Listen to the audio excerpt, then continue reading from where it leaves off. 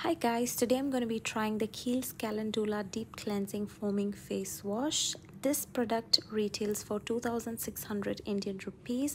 I just wanted to try and see if it can remove my stubborn, waterproof mascara, makeup, everything.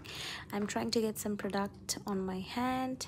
I'll gently be massaging it all over my face. Today I'm not going to use any micellar water or anything. I just want to see how much makeup does it remove in one go and as you can see my skin is squeaky clean and I could feel all the makeup is gone and this is how it looks like. Thank you